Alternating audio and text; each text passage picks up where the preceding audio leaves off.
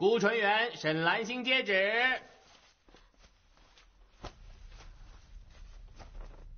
奉天承运，皇太后懿旨：顾纯元、沈兰心因触犯大清律法，被判流放云南，钦此。谢皇太后恩典。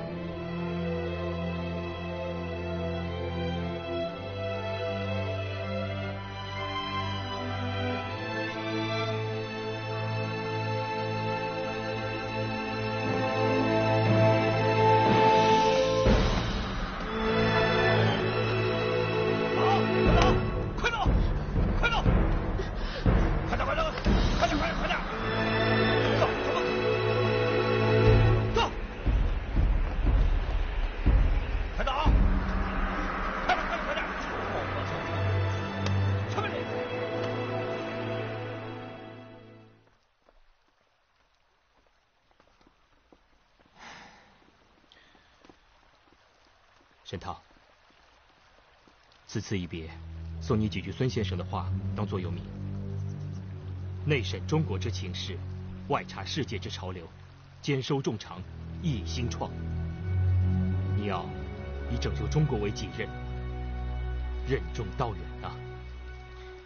我明白，一路顺风。好，再见。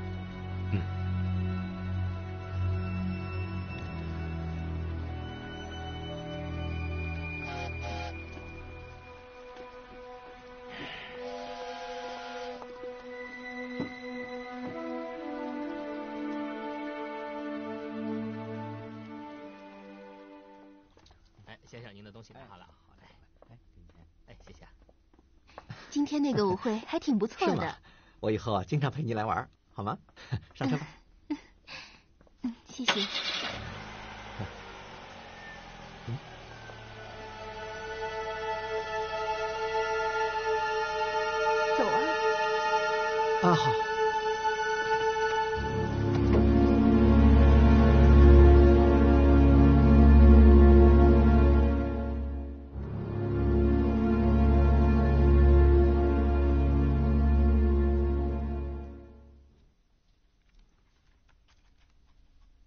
哎，传明，嗯，写什么呢？袁公子让我写一首劝兵歌，要求通俗易懂、朗朗上口，让士兵们传唱。哈哈，从天津新军营回来，你是更忙碌了啊！你也没闲着，一直见不着人影。潇潇到京城来了。他到京城来了。昨晚我见到他了。那他现在在哪儿？我不知道，传明，重要的是要把他找到，劝他回去。我不想他在这儿惹麻烦。麻烦是你惹的，我才不去找他呢。要找你自己找。我可是帮了你大忙，你不要忘恩负义啊！当初要不你不要再提当初了，好不好？这事儿你就看着办吧啊！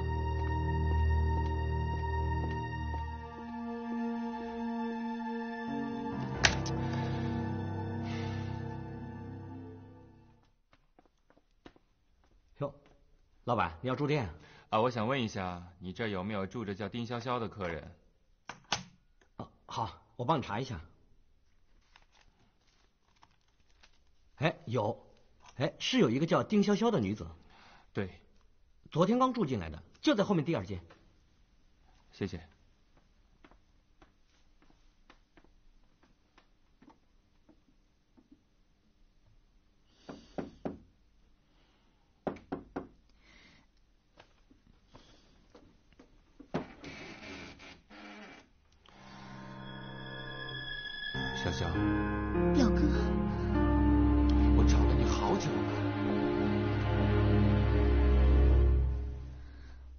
道我来京城了？有人告诉我的。你为什么来了之后都不告诉我一声呢？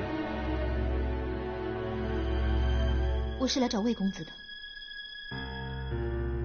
表哥，你不是跟我说过，他到京城安排好之后就会来接我的吗？可是为什么我等了那么长时间？可是他连最起码的一封信都没有给我，表哥，你知道他在哪里吗？我怎么样才能找到他呢？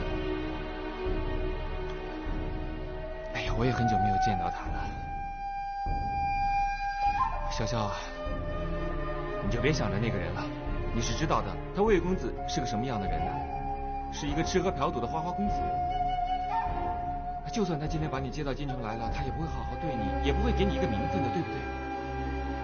你别犯傻了。我怀孕了。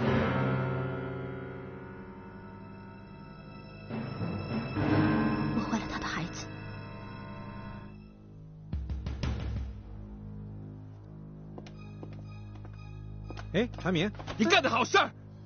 我干什么好事了？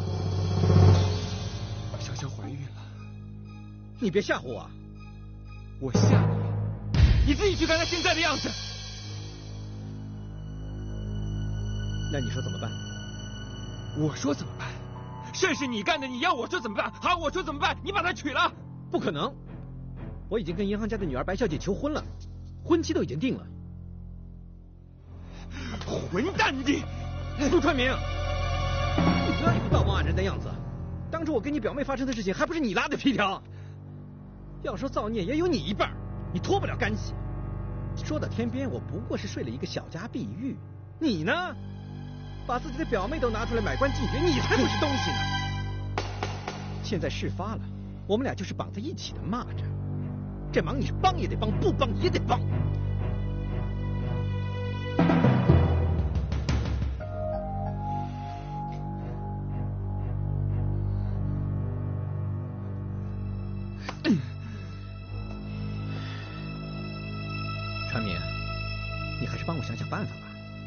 这事情我不可以出面，帮我打理一下吧。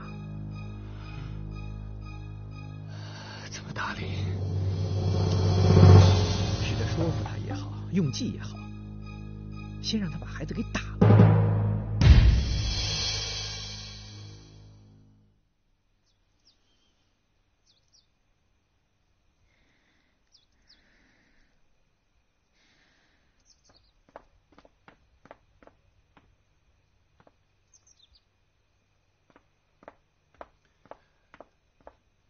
了。潇潇，表哥，有没有找到魏公子？还是没有他的消息。喜事这样拖下去也不是个办法，表哥倒是有个想法。你说？把孩子拿掉。不，不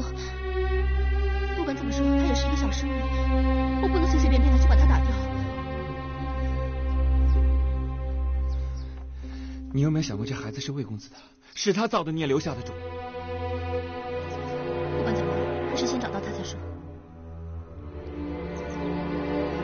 那要是找不到他，找不到他，你就等着肚子一天天大起来。小夏，不管怎么样，你现在是一个未出阁的女孩子，这种事要是让别人知道，你脸还往哪儿摆？我早就明眼见人，更不怕别人说三道四。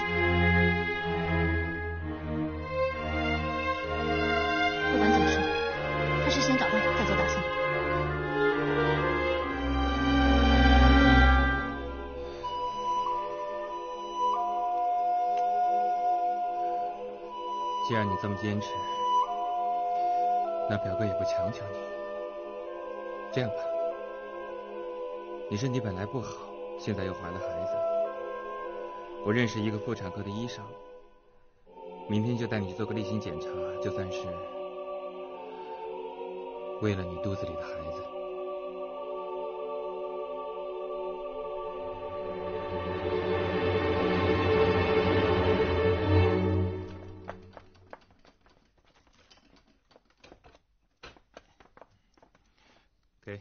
谢谢。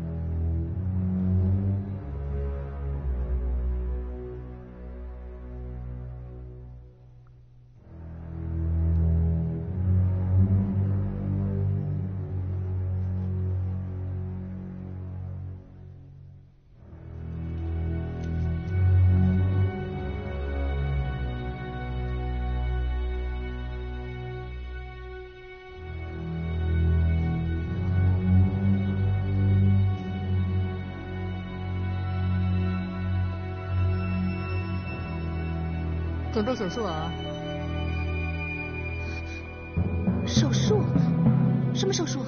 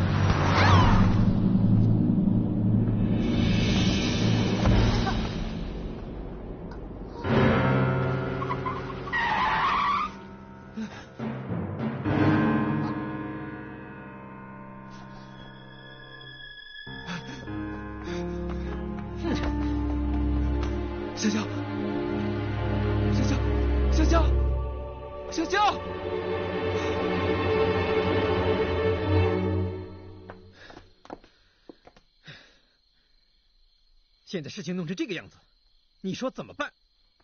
你说怎么办？所有事情都是你搞出来的，我怎么知道怎么办？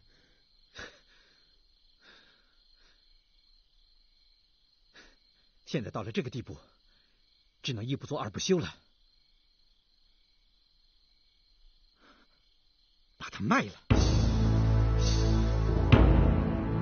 是人吗？竟然敢说出这么丧心病狂的话！我可以一走了之，你呢？我这不是为你考虑吗？如果不把他给卖了，他醒过来肯定闹翻，恨你骗了他，把事情撂到你一个人头上，到时候你怎么向他家人交代？你怎么向他父母交代？当断不断，反受其乱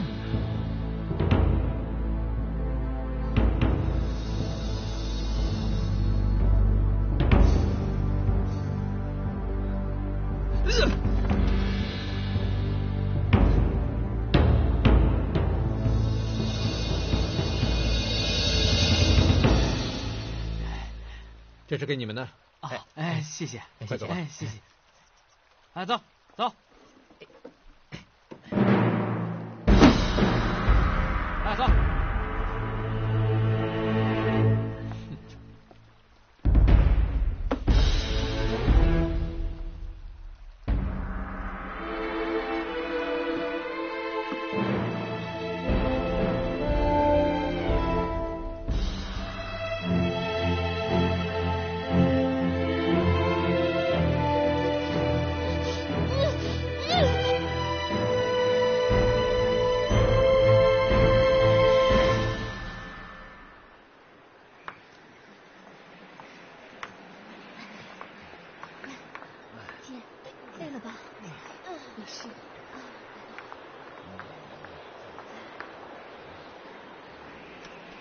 都给我勤快点！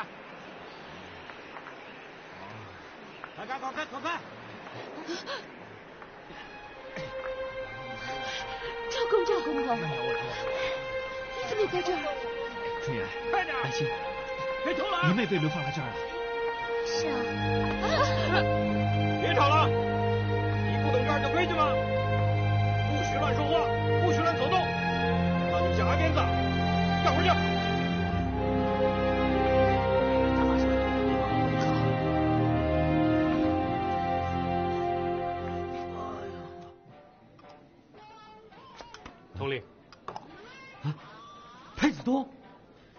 你啊？认不出我吧？哎呀，认不出来了。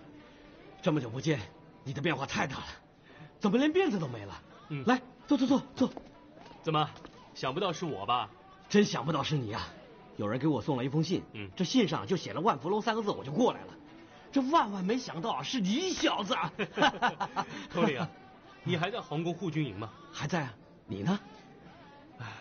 我逃离皇宫以后，东西闯荡，南北漂游，做了些事儿，赚了些钱，转了一圈又到京城了。哦，那你到京城来干什么？看看老朋友了，还有，我想找兰心。兰心？嗯，兰心和纯元都被发配到云南去了，你不知道吗？啊？他们犯了什么事了？要发配到云南？听说是为了珍妃和一些乱党分子受到牵连。哎，你也知道了，这宫里的事谁也说不清。唉，为了点小事就会惹来杀身之祸的。不行，我要去找他。嗯，对不起，统领，我先走了。哎，裴子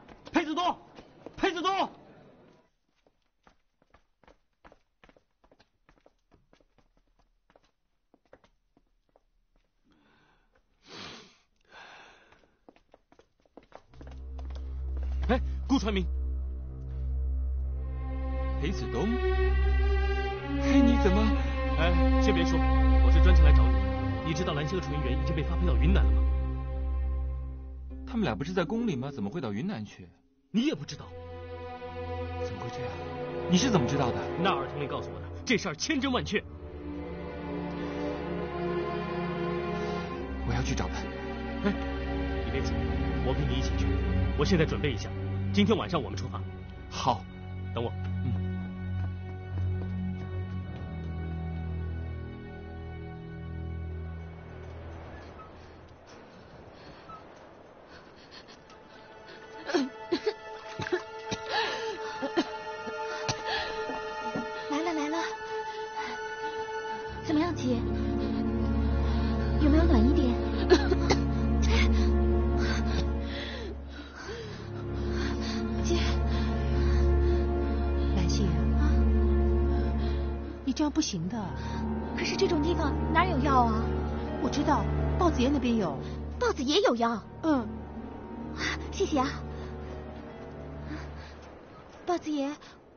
您，我姐姐病得厉害，发烧发得很严重，我想跟您拿点药。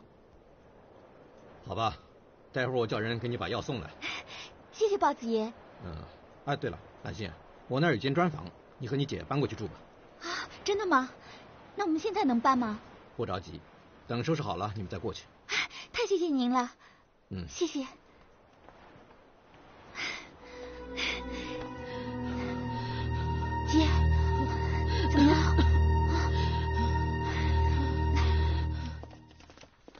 你是知道我要来，所以四门大开啊。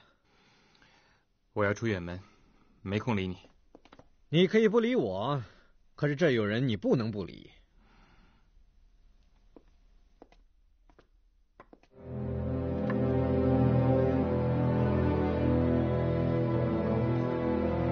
袁公子，士别三日，当刮目相看。长明，你现在变得很神气嘛？云公子，你这么晚来找我，是不是有事情？哼，传明啊，你上次写的劝兵歌在保定新军广为流传，军心大振呢，家父十分赏识。不过家父想让你写一篇治国平乱的好文章，你可否有这个文采啊？多谢袁公子赏识。哼，那好，我也帮你找了几个帮手，我们找个秘密的地方，日夜兼写。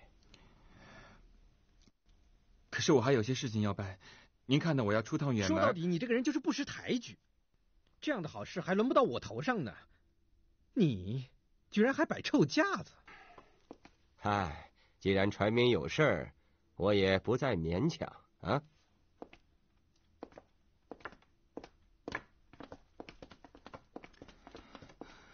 我去。那好，车马就在门口，走吧。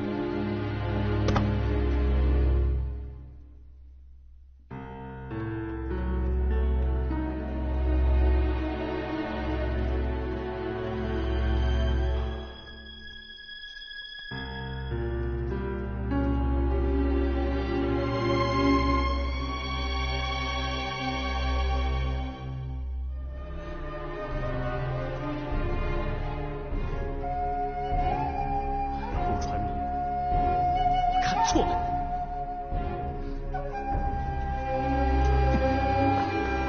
这。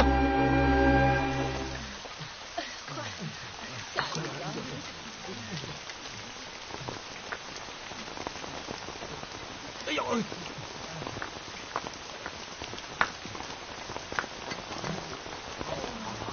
来，给我，给我，给我。安心，跟我去给你姐姐拿药。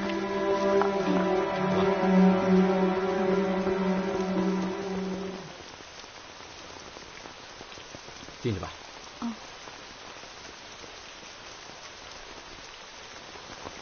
药啊，就在我屋里。哦。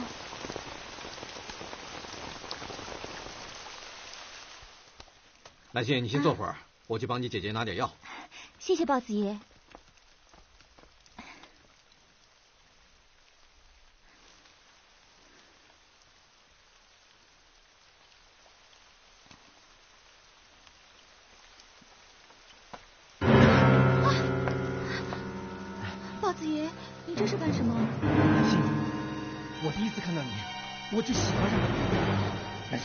你就跟了我吧。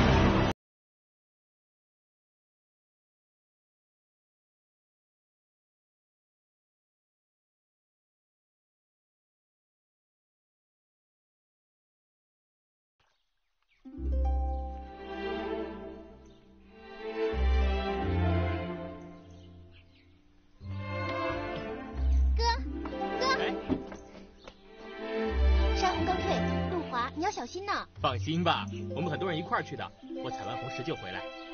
要不然我们家阿果没有红裙子穿，可怎么嫁人呢？哥，你真坏。好了，照顾好娘啊，我一会儿就回来。嗯回去吧。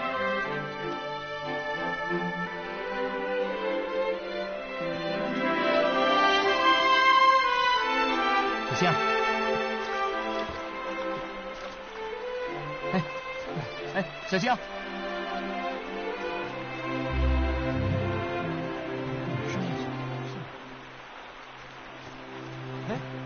事？哎，过去看看。哎，好嘞。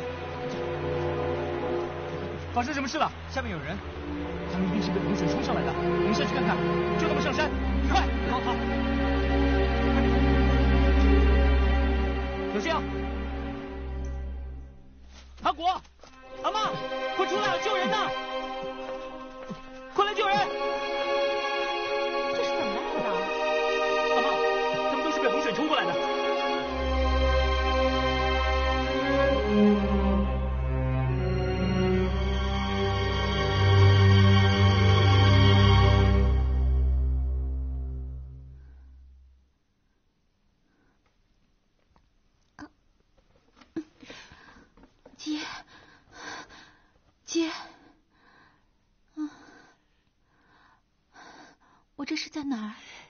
姑娘，你是被洪水冲到我们这儿来的。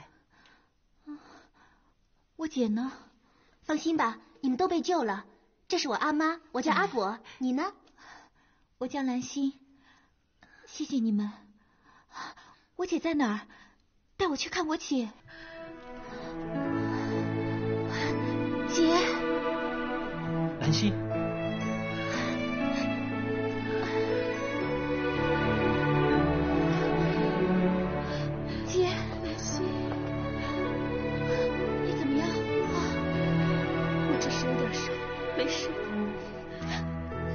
再也看不到你了。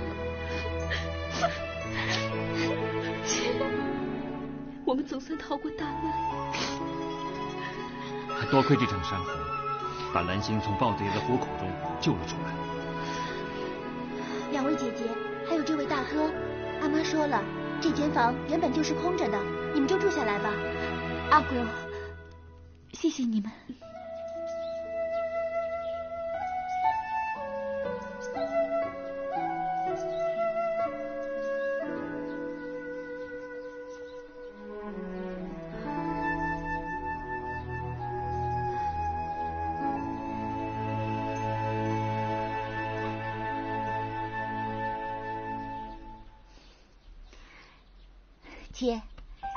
在你的烧也退了，总算没事了。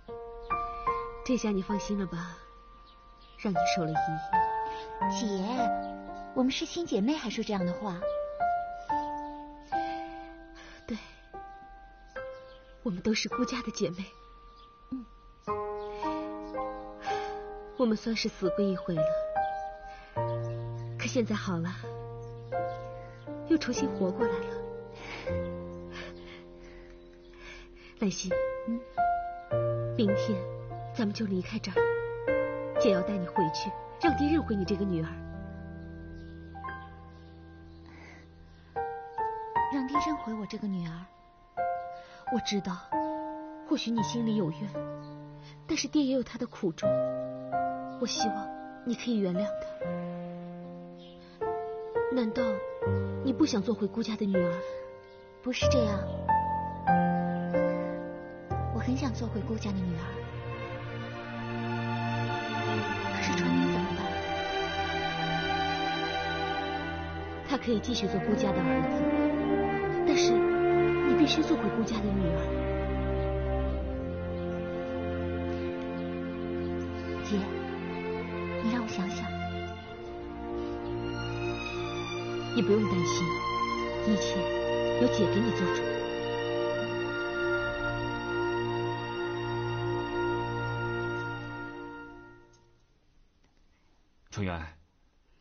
你拿剪刀干什么？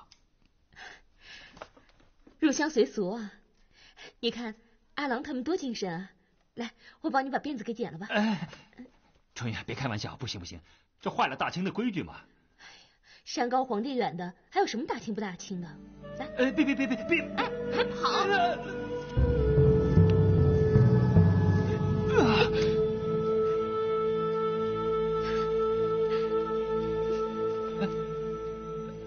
元，我我没了辫子，我们就回不了家了。你怎么这么糊涂啊？你还以为大清朝是你的家吗？看来我们这次只有客死异乡了。谁说的？你有家呀！我已经仔细想过了，你跟我们一道回去。我？是啊，我们顾家绣庄这么大的地方。难道还没有你的容身之处啊？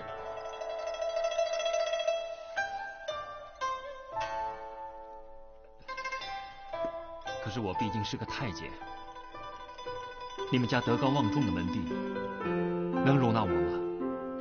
全福，你怎么又说丧气话呢？我既然要带你回去，就一定会有这个把握。春元，你还年轻。还可以选择自己的生活，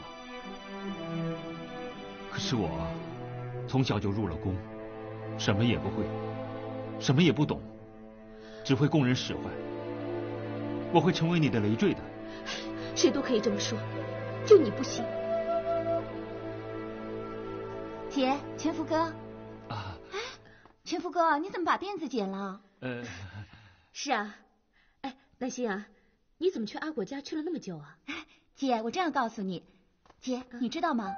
阿果的阿妈是个刺绣高手，他们这刺绣啊，线色和图案都不一样。那你都讨教了吗？还没来得及呢，只问了一点儿。如果我们能在这儿多住一阵子，可以学到很多东西，说不定将来会有用呢。兰心，这是你想留下来唯一的理由吗？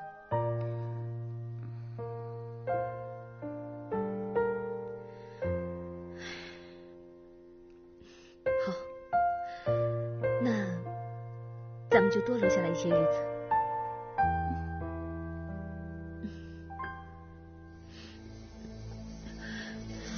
姐，怎么了？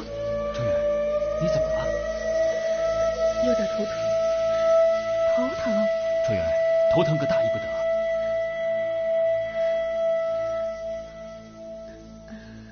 大概是身体还没有完全复原吧。我记得大洪水的时候，我的脑袋被树根撞了一下，打从那以后，就时不时有些头疼。姐，会不会上次把头撞伤了？你们不用担心，我想休息一段时间，应该就没事了。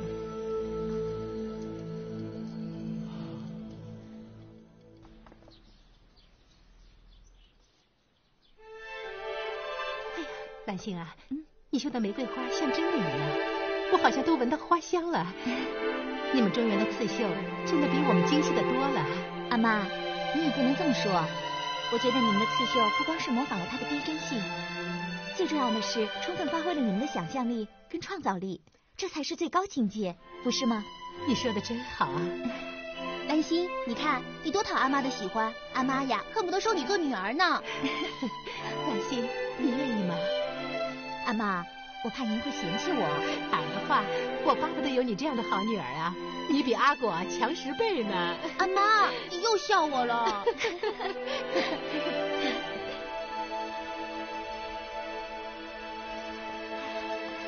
兰心啊，你看啊，这赤石的颜色果然是耐久不退。看来呀，我们还真是因祸得福呢。姐，今天什么日子？你要我洗这么多菜？哦，明天就是咱们汉人要过的元宵节啊！明天是元宵节了？是啊，我都不记得了。往年元宵啊，咱们都是要吃汤圆的，只是在这儿，也就只能将就了。但是呢，这习俗可不能免。姐给你呀，做几个野菜圆子尝尝。我还记得以前的元宵节，我们猜灯谜、舞狮子，还有通宵达旦的爆竹。兰心，嗯，该学的绣艺，咱们也学的差不多了。孤家的人，总归是要回到孤家的。这是娘对我的临终嘱托。姐该带你回去了。姐，我也很想家，很想回去。可是毕竟已经二十多年了。如果传明知道自己不是郭家的亲生儿子，他一定会很伤心。你真是什么都替他着想。可是你有没有想过，这些年顾家又是怎么待你的？你朝思暮想的传明，他有给过你只言片语吗？姐，这也不能怪传明。他一个人在外面谋事，挺不容易的。我什么都帮不了他，不想拖累他，更不想因为我的事让他伤心，让他一下子接受这个事实真的很难。如果这个时候我去认祖归宗，我担心会伤害到他。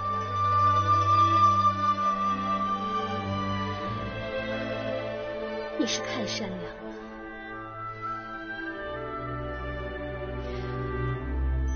可是姐已经决定了，既然你应该幸福，姐就一定要带你回去。认祖归宗。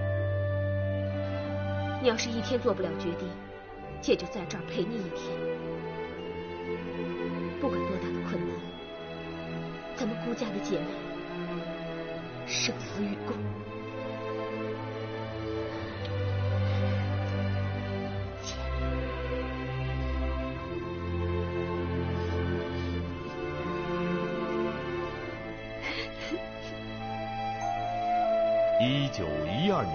宵节是个不平凡的元宵节。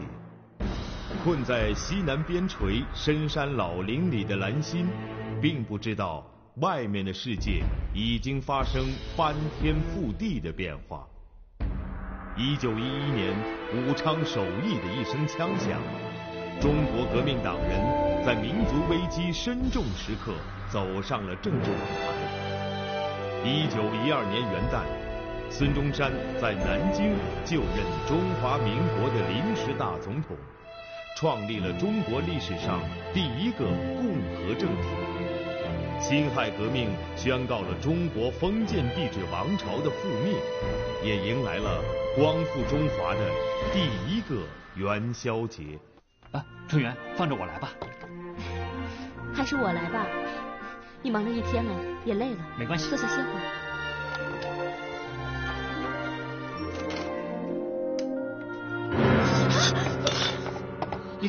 烫手了吧？没事，没事。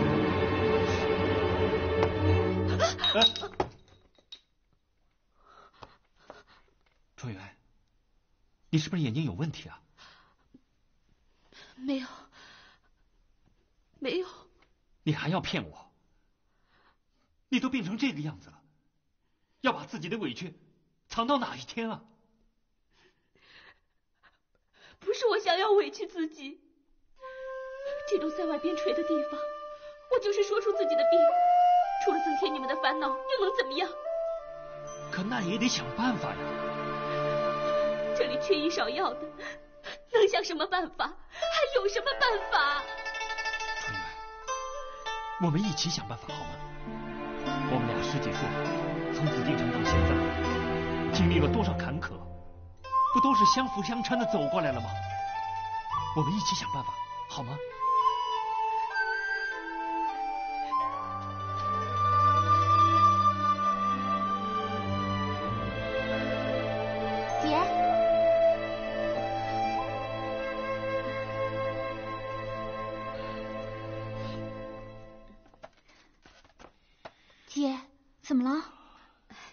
事，我没事。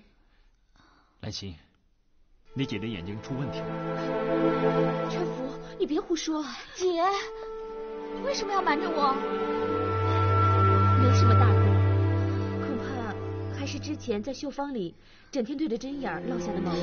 可是我前两天问你的时候，你怎么不跟我说实话呢？病在身上，急也没用的。干着急有什么用？我们得想办法。全福哥，我们现在该怎么办？现在最要紧的就是，你赶紧带着你姐离开这儿。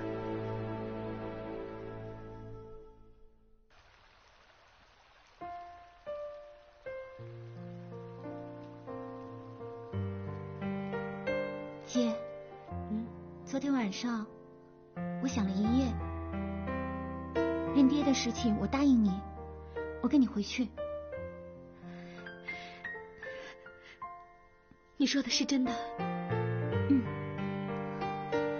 我已经想清楚了，姐。这么多天来，我一直拖累你，不然你早就回家了。我觉得全福哥说的很对，这样耽误下去，你的眼睛一定好不了。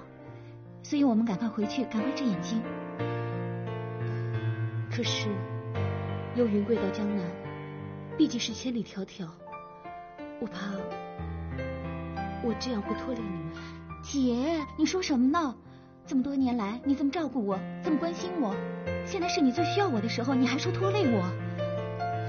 姐，不管再苦，我都要一直陪着你。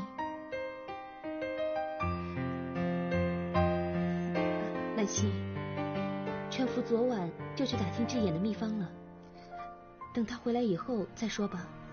嗯。春元，全全福哥，治眼病的偏方我打听到了，这儿的人有一种叫石耳的来治眼病。石耳？对，是一种长在深山石头上的东西，有点像木耳。都说石耳能够消炎明目，我现在就去找。你要等我啊？你小心啊！啊。姐，我准备点吃的给全福哥带路上。好，去吧。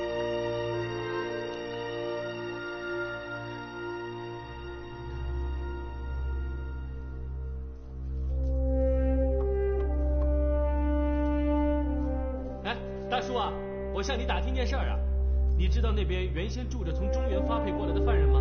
怎么连个人影都不见了？前些时候啊，这里有过地震，山洪爆